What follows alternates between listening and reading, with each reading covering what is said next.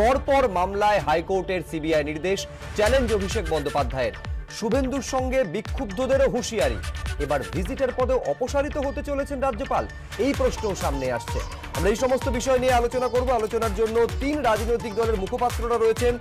BJP মুখপাত্র রাজশ্রী লাহিড়ী আমাদের সঙ্গে আলোচনায় যোগ দিয়েছেন। তৃণমূল মুখপাত্র অরূপ চক্রবর্তী রয়েছেন। সিপিএম নেতা কৌস্তব চট্টোপাধ্যায় আলোচনায় যোগ দিয়েছেন। এছাড়াও রয়েছেন অধ্যাপক বিশ্বনাথ চক্রবর্তী। প্রত্যেকের কাছে আসব, কিন্তু শুরুতেই আপনাদের দেখাবো যে বিচার ব্যবস্থার একাংশকে নিয়ে আজকে ইঙ্গিতপূর্ণ মন্তব্য করেছেন তৃণমূলের সর্বভারতীয় সাধারণ সম্পাদক অভিষেক বন্দ্যোপাধ্যায়। কি বলেছেন তিনি এবং বিরোধীরা কীভাবে তার সমালোচনা করেছে? প্রথমেই আপনাদের সামনে। নিয়োগ দুর্নীতি থেকে শুরু করে খুন পুড়িয়ে হত্যা, ধর্ষণের অভিযোগের মতো একাধিক মামলার তদন্তভার গত কয়েক মাসে সিবিআই এর হাতে তুলে দিয়েছে কলকাতা হাইকোর্ট। এই প্রেক্ষাপটে শনিবার বিচার ব্যবস্থা নিয়ে ইঙ্গিতপূর্ণ মন্তব্য করলেন তৃণমূলের সর্বভারতীয় সাধারণ সম্পাদক অভিষেক বন্দ্যোপাধ্যায়। তুললেন সিবিআইকে তদন্তভার দেওয়ার প্রসঙ্গ। আমার বলতেও লজ্জা লাগে যে বিচার ব্যবস্থার একজন, দুজন এমন আছে যারা সম্পূর্ণ যোগসাযোগে কাজ করছে, তাদের তল্পি বাহক হিসেবে ওয়ান পার্সেন্ট এবং কিছু হলেই যারা সিবিআই দিয়ে দিচ্ছে মার্ডার কেসে ইনভেস্টিগেশন স্টে করে দিচ্ছে। আপনি শুনেছেন কোনোদিন? আপনি মার্ডার কেস স্টে করতে পারেন না। এদিন পূর্ব মেদিনীপুরের হলদিয়ায় তৃণমূলের শ্রমিক সংগঠন আইএনটিডিইউসি সভা ছিল। সেখানে উপস্থিত ছিলেন তৃণমূলের সর্বভারতীয় সাধারণ সম্পাদক। সেই মঞ্চ থেকে বিচার ব্যবস্থার উদ্দেশ্যে মন্তব্য করেন অভিষেক বন্দ্যোপাধ্যায়। অত্যন্ত অর্বাচীনের মতো মন্তব্য করেছেন। কলকাতা হাইকোর্টে দু হাজার এগারো সালের পর থেকে সিবিআই একজন বিচারপতি দেননি। একাধিক বিচারপতি বারে বারে তারা যখন সন্তুষ্ট হয়েছেন যে রাজ্য প্রশাসন সম্পূর্ণভাবে পক্ষপাতিত্ব করছেন তৃণমূল গুন্ডাদের পক্ষে, তৃণমূল ধর্ষণকারীদের পক্ষে, আদালত বিচার করে সিবিআই নির্দেশ দিয়েছেন। খুব আতঙ্ক তৈরি হয়ে গেছে অভিষেক বাবুদের এই আতঙ্কে তারা এখন কাঁপছেন। যদিও বিচার ব্যবস্থা নিয়ে করা ইঙ্গিতপূর্ণ মন্তব্যে এখনও অনড় তৃণমূলের সর্বভারতীয় সাধারণ সম্পাদক। আর আপনার যদি মনে হয় সত্যি কথা বলার জন্য আপনি আপনি আমার বিরুদ্ধে ব্যবস্থা নেবেন আমি ক্যামেরার সামনে এমন সত্যি কথা দু হাজার বার বলব দশ হাজার বার বলব। আমার কোনো বিরোধিতা বাধে সত্যি কথা বলতে। ওয়ান পার্সেন্ট একজন দুজন এসব কথার কোনো মূল্য নেই। মনে রাখতে হবে কলকাতা হাইকোর্টের পাঁচ সদস্যের বেঞ্চ ওই একজন। মানে ফোর ইস টু ওয়ান নয়, দুজন মানে থ্রি ইস টু টু নয়। পাঁচ সদস্যের বেঞ্চ ঐক্যমত্যের ভিত্তিতে বলেছে এখানে শাসকের আইন প্রতিষ্ঠিত হয়ে গেছে। তো সে জায়গায় দাঁড়িয়ে হতাশা থেকে, ক্ষোভ থেকে তারা আজকে বিচার ব্যবস্থাকে আক্রমণ করছে। কাটা ঘায়ে মনে হচ্ছে নুনের ছিটে পড়ে গেছে। বিচার, বিচারকদের যে সিদ্ধান্ত, সেই সিদ্ধান্তকে মেনে নিতে কষ্ট হচ্ছে, যেহেতু সেই সিদ্ধান্ত তাদের দলের পক্ষে যাচ্ছে না। আমি দাবি করব বাংলার মুখ্যমন্ত্রী আপনি বলুন যে আপনি কি বলছেন কথা?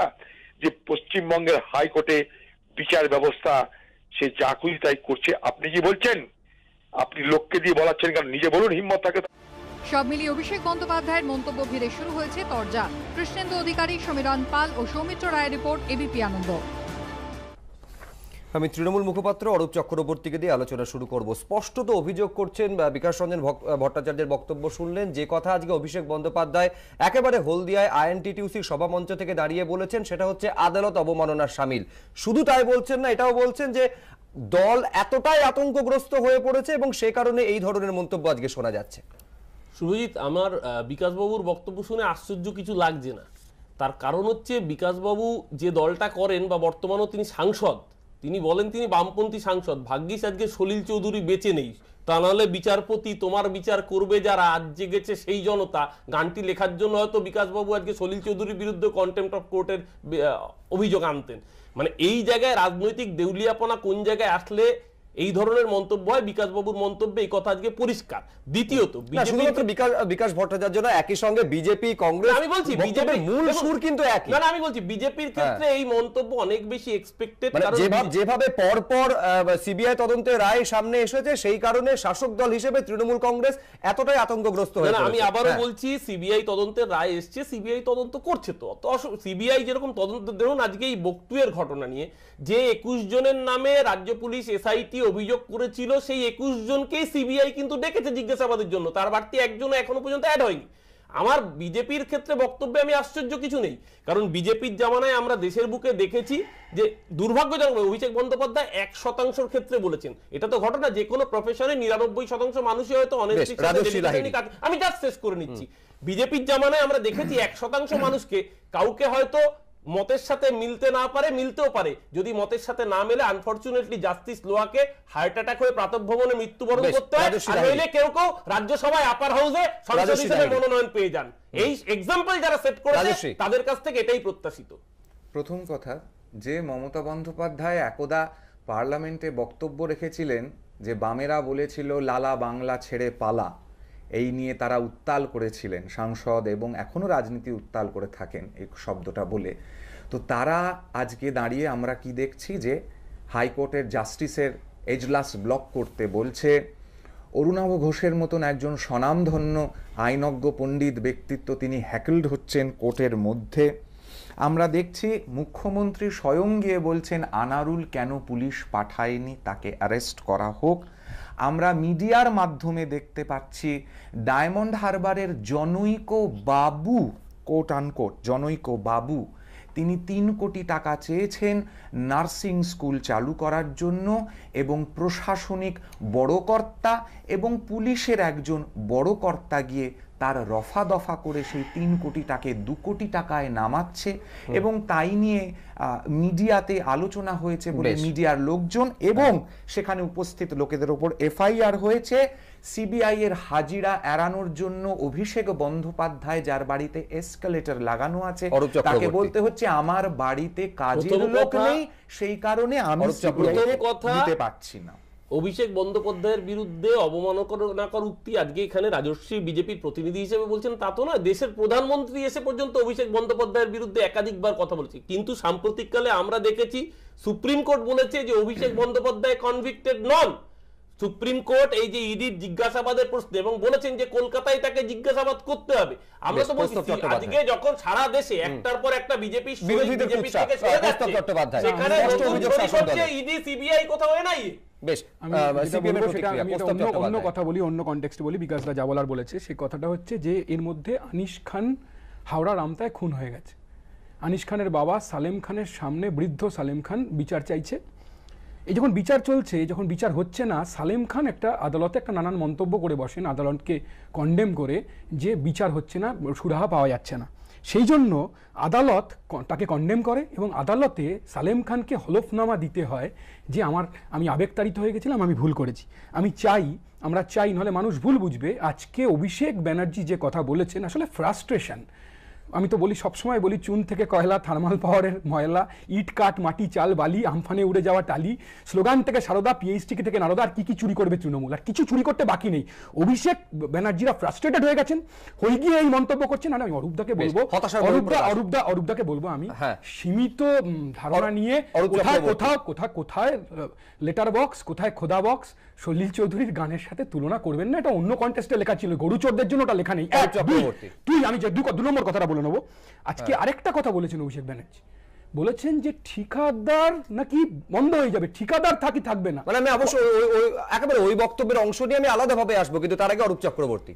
না না আমি আবারও বলছি আসলে বামপন্থীদের দেউলিয়াপনাটা এখানেই আজকে ধরুন প্রতিটা স্তরে এটা বামপন্থীদের দ্বিচারিতার জায়গাগুলো প্রচারিত।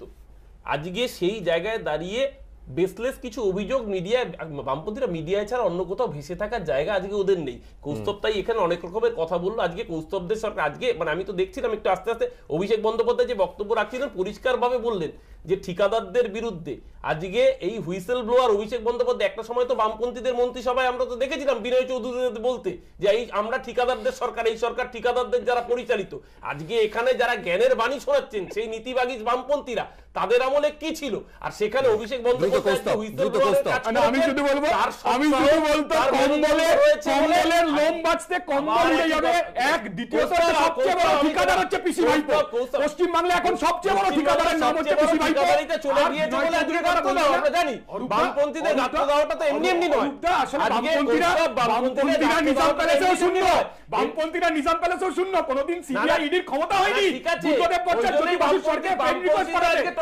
খুঁজতে পরেশ হচ্ছে। অধিকারীকে এই কারণেই খুঁজতে খুঁজতে হচ্ছে। হচ্ছে পরেশ অধিকারীকে 299টা চিৎকার করে আমরা জানি না। অরূপদাকেও নিজাম প্যালেসে যেতে হবে কিনা আমাদের জানা নেই। আমরা জানি না। জানি আমি আমি- 299 আমি জানি। কৌস্তবকে বেহালা পশ্চিমে খুঁজতে হয়। কৌস্তবকে বেহালা পূর্বে খুঁজতে হয় কেন? এই কারণেই খুঁজতে হয়। খোঁজা তো এই হারিয়ে গেছে অধিকারী। 34 বছর মানুষ হারিয়ে গেছে। চক্রবর্তী এখনও বলার সুযোগ পাননি বিশ্বনাথ চক্রবর্তী। শিক্ষামন্ত্রী তাকে হচ্ছে বারবার নিজাম প্যালেসে গিয়ে দাঁড়াতে হয়। বিশ্বনাথ চক্রবর্তী। লজ্জার আর কি আছে? অরূপ চক্রবর্তীদের মতো জায়গায় থাকলে আমরা টিভি মিডিয়া বয়কট করতাম। বেশ বিশ্বনাথ চক্রবর্তী। দেখো ক্ষমতাবানদের ভাষা কিন্তু একই হয়। আহ, সেদিন বিমান বসু অমিতাভ রালা বাংলা ছাড়া ছাড়ে- পালা যে আহ, ক্ষমতার আসীনে থেকে যে বক্তব্য রেখেছিলেন আর আজকে অভিষেক বন্দ্যোপাধ্যায় বিচারকদের উদ্দেশ্যে যা বলেছেন, এটা এটা সাধারণত শাসকদের ভাষা। শাসকরা সাধারণত তার পছন্দ, বিচার যদি তার পছন্দের হয়, তাহলে তারা সেটা সমর্থন করেন। বিচার যদি তাদের বিরুদ্ধে যায়, তাহলে তারা খড়গহস্ত হন। কিন্তু যে বিষয়টা গুরুত্বপূর্ণ, আজকে যদি সাধারণ কোনো নাগরিক এই ধরনের বিচারকে উদ্দেশ্য করে বক্তব্য রাখতেন, তাহলে কিন্তু সঙ্গে সঙ্গে কন্টেম অফ কোর্টের উদ্যোগ না। আমি জানি না এই ধরনের ব্যবস্থায় কন্টেম অফ কোর্ট হবে কিনা, কারণ প্রভাবশালীদের বিরুদ্ধে সেটাও হয় না। এবং তৃতীয় যেটা, সেটা এটা একটা পরিষ্কার একটা চাপ চাপ তৈরির জন্য বক্তব্য রাখা। অর্থাৎ বিচার ব্যবস্থার উপরে শাসক দল চাপ তৈরি করতে চাইছে। এর আগেও একাধিক মন্তব্য আমরা দেখেছি যে বিচারপতিকে নিয়ে কখনো মমতা বন্দ্যোপাধ্যায় বা আরও অনেক নেতা কিন্তু যে ধরনের একের পর এক মন্তব্য করেছে, সেখানে কিন্তু বিচার ব্যবস্থাকে পরিষ্কার একটা চাপে রাখবার চেষ্টা করছে। এটা কিন্তু দুর্ভাগ্যের। মানে শাসকরা যদি বিচার ব্যবস্থায় আস্থা না রাখে তাহলে সাধারণ মানুষ কি করে রাখবে তুমি বলতে পারো? যে যদি শাসক যারা গভর্নমেন্টকে চালায় তার সেই সমস্ত মানুষগুলো যদি বিচার ব্যবস্থার প্রতি আস্থা না রাখে তাহলে সাধারণ মানুষের কি দায় থাকছে একেবারে স্পষ্ট অভিযোগ করছেন বিশ্বনাথ চক্রবর্তী বিচার ব্যবস্থার উপর চাপ তৈরির প্রচেষ্টা। আমার একটা হ্যাঁ। প্রশ্ন বিশ্বনাথ চক্রবর্তী। বিশ্বনাথ দা আমরা সব কথা আপনার মেনে নিচ্ছি কিন্তু একজন বিচারপতি তিনি একটা কোনো বিষয়ে অবজারভেশন দিচ্ছেন। আমি ধরে নিচ্ছি যে সেই অবজারভেশনের কিছু মান্যতা নিশ্চিতভাবে রয়েছে। কিন্তু কোন বিচারপতি তার চেয়ারে বসে এটা বলতে পারেন যে। এই একটু প্লিজ তোমার হ্যাঁ। সময় ইন্টারাপ্ট করিনি। কোন বিচারপতি তার চেয়ারে বসে এটা বলতে পারেন কে কোথায় চিকিৎসার জন্য ভর্তি হবেন কি হবেন না। যে কথাটাকে কেন অরূপদা? বারবার উঠবান চলে বারবার উঠবান তোমার বলার সময় এই- এই- এই- এই গণতন্ত্র তোমরা ডেমোক্রেসি প্র্যাকটিস করো আমরা জানি। বল, বল, এই গণতন্ত্র তোমরা উঠবান বারবার ভাই হবে। এই তো গণতন্ত্র প্র্যাকটিস করতে হয় আমরা আমরা উঠবান বিশ্বনাথ তারপর উঠবান দোকানে যে আলোচনা ভুবনেশ্বর। বিশ্বনাথ চায়ের দোকানে যে আলোচনা করতে পারি আমরা কি বিচারপতি চেয়ারে বসে সেই কথা বলতে পারি? বিশ্বনাথ দা বিশ্বনাথ দা আমি উত্তরি। দেখো সুব্রজিৎ এটা দর্শকদের বিভ্রান্তি যাতে না হয় কোনো বিচারপতির প্রতি যদি তোমার কোনো ক্ষোভ থাকে বিক্ষোভ থাকে তোমার যদি কোনো চিন্তা ভাবনা থাকে তুমি সরাসরি তুমি আদালতে বিচার বিচার চাইতে পারো। অর্থাৎ বিচার ব্যবস্থার মধ্যেই কিন্তু কোনো বিচারপতি বিচার সংক্রান্ত বিষয় নিয়ে যদি তোমার কোনো আপত্তি থাকে তুমি সেটা ন্যায় বিচার চাইতে পারো হায়ার কোর্টে যেতে পারো এবং কি তুমি নানা স্তরে সেটাকে প্রতিবিধান করতে পারো। কিন্তু সরাসরি জনসভার মধ্যে দাঁড়িয়ে দিয়ে তুমি বিচারপতির দিকে আঙ্গুল দিয়ে প্রশ্ন তোলো, তাহলে এই যে হাজার হাজার ছাত্রছাত্রীরা বঞ্চিত হলো, ন্যায় বিচারের প্রশ্নটা কোথায় যাবে তুমি বলতে পারো? হাজার হাজার লোকের থেকে পয়সা নিয়ে দুর্বৃত্ত দুর্বৃত্তায়ন করে তারপরে যদি সেটাকে জাস্টিফাই করা হয় এবং এবং এবং এবং যখন একের পর দুর্নীতির অভিযোগ আসে যখন প্রশাসনের দ্বারস্থ হয়ে পুলিশের দ্বারস্থ হয়ে যখন সুবিচার না পায় তখন বিচার ব্যবস্থার দ্বারস্থ সাধারণ মানুষ হন এবং আমরা সাধারণ মানুষ বিচার ব্যবস্থার প্রতি সম্পূর্ণ আস্থাশীল অরূপ চক্রবর্তী। না না আমি আবারও বলছি দেখুন অভিষেক বন্দ্যোপাধ্যায় যে কথা বলেছেন তার সাথে একশো শতাংশ সহমত হয়ে বলছি যে কোনো প্রফেশনেই কিছু মানুষ থাকেন যারা বিচ্যুত হন। অধিকাংশ মানুষই নিষ্ঠার সাথে কাজ করেন বলেই সিস্টেমটা চলে। অভিষেক বন্দ্যোপাধ্যায় সেই কথাটাকেই মেনশন করতে চেয়েছেন। আপনারা এখন রাজনৈতিক জলগোলা করার জন্য দেখুন আসলে বিজেপি এ রাজ্যের বুকে যারা স্বপ্ন দেখেছিল ক্ষমতায় আসবে তারা আজকে রাজনৈতিকভাবে দেউলিয়া। বিজেপিকে নিয়ে আমি আমরা ভাবি তো বিজেপি রাজনৈতিকভাবে দেউলিয়া হতে যাবে কোন দুঃখে? আরে বাবু তাই জন্যই তারা আজকে বিরোধী দল। আরে তোমার বলার তাই জন্যই তারা বিরোধী দল। একেবারে আমি- তোমার বলার বেশ, সময় তুমি আমার এখানে আমরা আমরা খুব অবাক হয়ে যাচ্ছি যে বিকাশ রঞ্জন ভট্টাচার্যের মতো একজন বামপন্থী মানসিকতার মানুষ তিনি আজকে এই কথা বলছেন যারা চিরকাল আমি এখানে আমার পরের প্রতিবেদন দেখাতে উগরে দেখাতে একটা বিরতি দেবো তারপর অবশ্যই আলোচনায় পরবর্তী পর্যায়ে আসব যে বিচার ব্যবস্থার একাংশের কথা বারে বারে আলোচনায় আসছিল। এরই পাশাপাশি ইডি এবং সিবিআই কে কীভাবে আহ, এই কেন্দ্রীয় এজেন্সিকে ব্যবহার করা হচ্ছে বলে বিজেপিকে যেমন নিশানা করেছেন অভিষেক বন্দ্যোপাধ্যায় এবং বারে বারে ফিরে ফিরে এসেছে অবশ্যই নাম না করে শুভেন্দু অধিকারী প্রসঙ্গ। নিশানা করেছেন একবার নয় একাধিকবার। দেখুন। এখানকার যিনি সর্বে সর্বা ছিলেন তার পদলোভন বললেও কম হবে। নিজেকে এডি সিবিআই থেকে বাঁচাতে পূর্ব মেদিনীপুরের আবেগকে দিল্লির বুকে বিক্রি করেছে। দোকান কাকা, আপনি কি বলবেন আবার বলে, আমি অকৃতদার। বাবা, তুমি অকৃতদার না, তুমি অকৃতজ্ঞ। যারা তোমাকে ভালোবেসে সমর্থন করেছে, তাদের পকেট কেটে তুমি খাচ্ছ। লজ্জা হওয়া উচিত। অধিকারীদের খাসতালুক হলদিয়ায় দাঁড়িয়ে নাম না করে শুভেন্দু অধিকারীকে শনিবার এভাবে কড়া ভাষায় আক্রমণ করলেন তৃণমূলের সর্বভারতীয় সাধারণ সম্পাদক অভিষেক বন্দ্যোপাধ্যায়। আর তারপরই উঠল স্লোগান।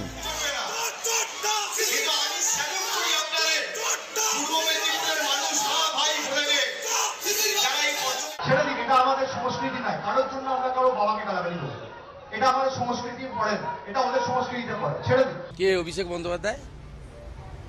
কে তিনি? কয়লা ভাইপো, এগারো সালের পরে মাল এসেছে, যখন নন্দীগ্রাম, সিঙ্গুর, পশ্চিমবাংলার লোক মারা যাওয়ার পরে ক্ষমতা এসছে, তখন দিল্লি থেকে এসছে। ওর একটাই পরিচয়, ভাইপো।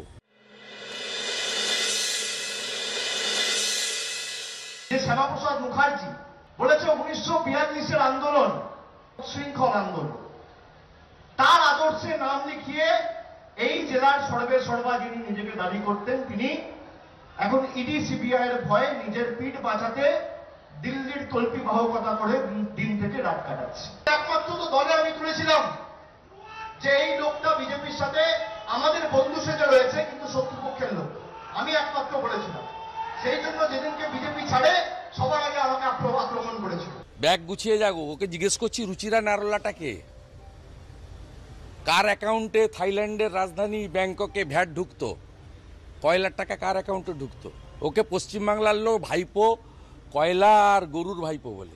ওর কথার উত্তরই দেবো না এগারো সালের পরে আসা মাল আমরা খেটে খুটে এখানে সিপিএমকে তাড়িয়েছিলাম এসে ঘুরছে।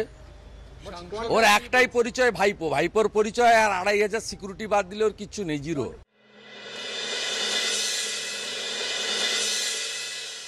তোমার দুবার সিবিআই আমাকে দিল্লিতে ডেকেছে। আমার মাথা নত করেছ তুমি দুবার, তোমার মাথা নত করেছি আমি দুবার। দুটো এমপি বিজেপি থেকে ভেঙে বাংলায় মমতা বন্দ্যোপাধ্যায়ের আদর্শকে সামনে রেখে তৃণমূল কংগ্রেস জয়েন করেছে। আমি দুবার কিছু করেছি, তোমরাও দুবার কিছু করেছ। এখনও তো যদি দরজা খুলি, দল উঠে যাবে। ওনার মতো ওরকম বহু লোক এর আগে বিজেপি দলটা ওঠানোর চেষ্টা করেছিলেন।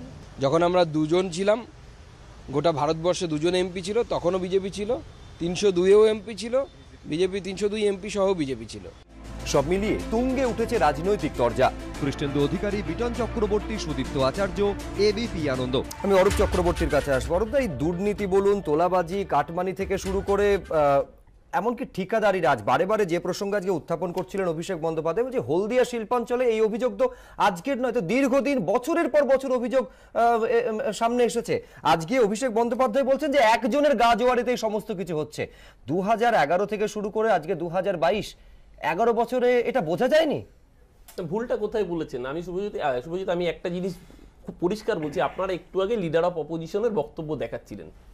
চোখে মুখে রন্ধ্রে রন্ধ্রে প্রতিটা স্তরে তার ফুটে উঠছে ফ্রাস্ট্রেশন একটা বাচ্চা ছেলে তার কাছে এরকমভাবে গুহারা হারার যন্ত্রণা। সবচেয়ে বড় কথা বাংলার মানুষ আজকে প্রশ্ন করতে চায় যে যার ভিডিও একটা পার্টির পোর্টালে তোলা হলো যে নারদা চোর বলে আমরা বলিনি বিজেপি বলেছিল। কাথির বুকে মিছিল করেছিল বিজেপি আমরা করিনি। যে সবচেয়ে বেশি দুর্নীতিগ্রস্ত নেতা তার নাম শুভেন্দু। তার ভিডিওটা আমি জাস্ট শেষ করি তার হ্যাঁ। ভিডিওটা ইউটিউব থেকে ডাউন ডিলিট করল। হারোদার এন্ড বেনিফিশিয়ারি আটজন এমপি ছজন মন্ত্রী এবং মুখ্যমন্ত্রী এই বক্তব্যটা তৃণমূল কংগ্রেসের বর্তমান মুখপাত্রের। এটা হয়তো উনি ভুলে যাচ্ছেন এই কথাগুলো।